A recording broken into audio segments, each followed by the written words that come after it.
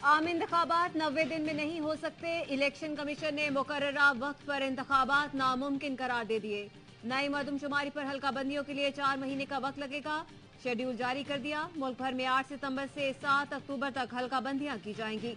हल्का बंदियों की इब्तदाई इशात 9 अक्टूबर को होगी। हल्का बंदियों के खिलाफ अपीलें 10 अक्टूबर से 8 नवंबर तक की जा सकेंगी। इलेक्शन कमीशन के मुताबिक 10 नवंबर से 9 दिसंबर तक हल्का बंदियों पर एतराजात पर फैसले करेगा। 14 दिसंबर को हल्का बंदियों को हतमी इशात की जाएगी। इलेक्शन कमीशन ने सूबाई हुकूमतों और इदारे शुमारियात से भी मुआवजा तलब कर ली।